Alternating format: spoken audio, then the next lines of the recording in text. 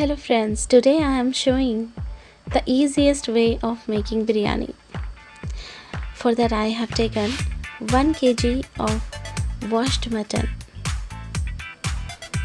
To that I am adding 2 tablespoons of freshly grinded ginger garlic paste.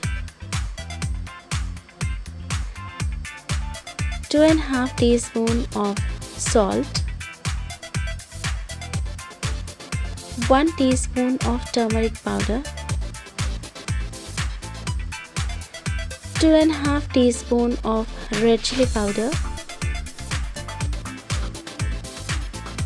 Now adding the whole garam masalas which includes cinnamon sticks 1 teaspoon of shazira 8 to 10 black peppers 10 to 12 cloves 4 to 5 green cardamom and grinded whole garam masala half teaspoon.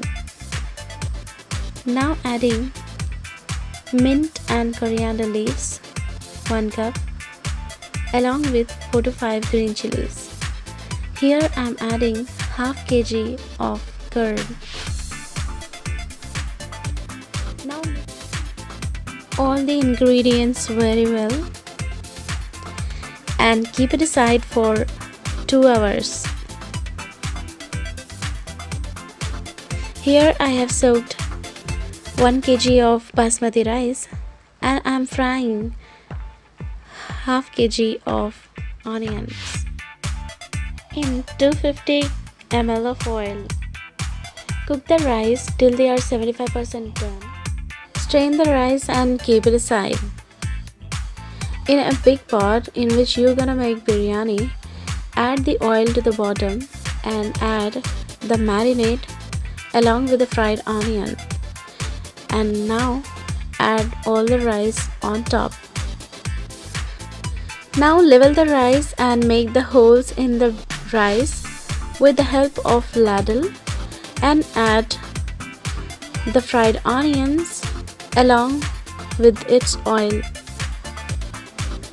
If you have, add some fresh mint and coriander leaves along with the pure ghee if you have and saffron strands. Now put on the lid and leave it for 5 minutes on high flame and 15 minutes on low flame.